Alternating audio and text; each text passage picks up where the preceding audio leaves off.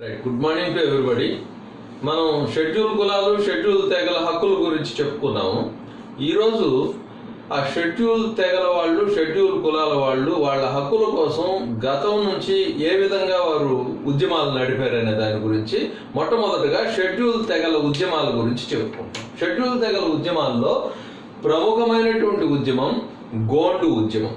అంటే కొమరం భీమ్.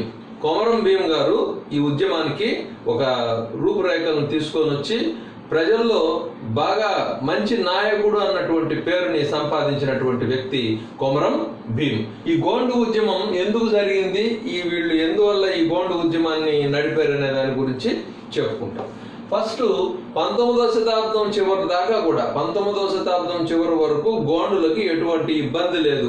వాళ్ళు అడవి పుత్రులు అడవిలో స్వేచ్ఛగా అడవి నరు నరికి వ్యవసాయం చేసుకొని దట్ ఈస్ పోడు వ్యవసాయం. పోడు వ్యవసాయం చేసుకుంటూ అడవిలో దొరికినటువంటి అన్ని వస్తువులు వాళ్ళు స్వేచ్ఛగా అనుభవిస్తూ వాళ్ళకి ఎటువంటి ఇబ్బంది లేకుండా జరిగిపోతా ఉండేది ఇరవయో శతాబ్దం ఎప్పుడైతే మొదలైందో బ్రిటిష్ వాళ్ళు ఏం చేశారంటే అటవీ చట్టాన్ని తీసుకొని వచ్చారు. ఈ అడవి చట్టాన్ని తీసుకొని వచ్చి సామంతరాజులకి అడవుల మీద హక్కులను కల్పించి ఆ అటవీ చట్టం ద్వారా పన్నులు సామంతరాజుల దగ్గర పన్నులు వసూలు చేసేదానికి వాళ్ళు మార్గం చేసుకున్నారనమాట కాబట్టి ఇరవయో శతాబ్దం నుంచి కూడా సామంతరాజుల ఏలుబడిలో వచ్చేసింది. ఈ అడవి ప్రాంతాలన్నీ కూడా సామంతరాజుల ఏలుబడిలోకి వచ్చింది. వీళ్ళ రిస్ట్రిక్షన్స్ ఏంది? సామంతరాజులు అంటే బ్రిటిష్ వాళ్ళు వీళ్ళకి చెప్పినటువంటి రిస్ట్రిక్షన్స్ ఏంటంటే పశువులను మేపకూడదు అడవిని నరకకూడదు. చివరికి అడవిలో కొమ్మ నరికినా కూడా కేసు పెట్టేటువంటి పరిస్థితి వచ్చింది. అప్పటి వరకు అడవి అంతా కూడా గోండుల సొంతం. ఆ రోజు నుంచి అడవిని వీళ్ళు ఏ పరిస్థితుల్లో కూడా వాడుకునేదానికి లేదు.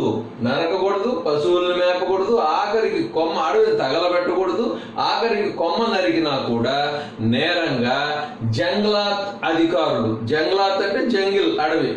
ఈ జ- అడవికి సంబంధించినటువంటి అధికారులు ఈ ఫారెస్ట్ ఆఫీసర్లు వీళ్ళు వాళ్ళు అపాయింట్ చేసినటువంటి వాళ్ళని ఆ రోజుల్లో జంగ్లాత్ అధికారులు అన్నమాట.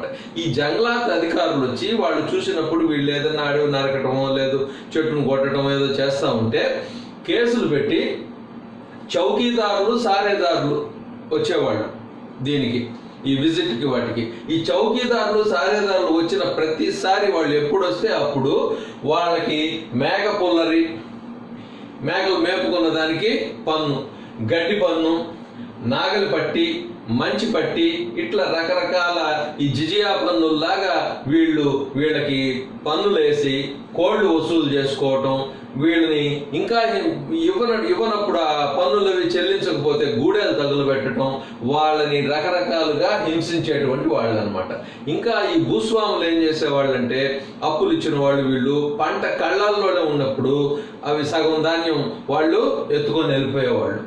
ఇంకా భూస్వాములు ఏం చేసేవాళ్ళంటే ఈ భూమి అంతా మాది మాకు పట్టా ఉంది ఈ భూమి మీద పూర్తి హక్కు మాది అనేసి ఆ పట్టాను చూపించి వాళ్ళని ఆ ప్రదేశం నుంచి తరిమేసేవాళ్ళు. మనుషులను పెట్టి తరిమేసేవాళ్ళు. ఇక్కడ ఏంటంటే వీళ్ళ అజ్ఞానం వల్ల ఈ ఎప్పుడైతే అడవి చట్టం ప్రవేశపెట్టిందో అందరూ కూడా గోండులు కూడా వాళ్ళ భూమికి సంబంధించిన పట్టాదారు పాసు పుస్తకాలు ఆ రోజునే పొందేటువంటి అవకాశం ఉంది. కానీ మనది కదా ఇది అడవి తల్లి మనది కదా మన భూమి కదా అనే ఉద్దేశంతో వాళ్ళు అవన్నీ తీసుకోకపోయేటప్పటికి అవన్నీ కూడా భూస్వాములు వాళ్ళు కబ్జా చేసుకొని వాళ్ళ పేరు మీద పాస్ పుస్తకాలు ఇవన్నీ తీసుకొని పట్టాలు తీసుకొని ఆ పట్టాలు వాళ్ళకు చూపించి వాళ్ళ అన్ని సంవత్సరాలు వాళ్ళు సొంతదారులుగా నివసించేటువంటి గోండుల్ని అక్కడి నుంచి తరిమేయటం ప్రారంభించారు. కాబట్టి తమకు పట్టా పాస్ పట్టా ఉన్నాయనేసి వాళ్ళని అక్కడి నుంచి తరిమేస్తారు ఈ జంగ్లాత్ అధికారులు ఏం చేసేవాళ్ళంటే అడవి నరికినందుకు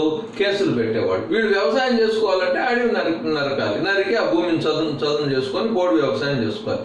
ఇన్ని రకాలుగా బాధలు పెట్టేటప్పటికి వాళ్ళు తీవ్ర అసంతృప్తికి గురయ్యి వాళ్ళు పిల్లిని కూడా రూమ్ వేసి కొడితే అది ఎదురు తిరుగుతుంది. ఆ విధంగా వీళ్ళు తీవ్ర అసంతృప్తికి గురయ్యి వీళ్ళ మీద తిరగబడేదానికి వాళ్ళ మనసులో బీజం నాటుకునింది. అప్పుడు ఇద్దరు అన్నదమ్ముళ్ళు కుర్దు యేసు. కుర్దు యేసు అనేటువంటి ఇద్దరు సోదరులు అన్ని గూడాలకి తిరిగి అందరినీ కలుపుకొని వీళ్ళని వీళ్ళని ఏ విధంగానైనా బ్రిటిష్ వాళ్ళని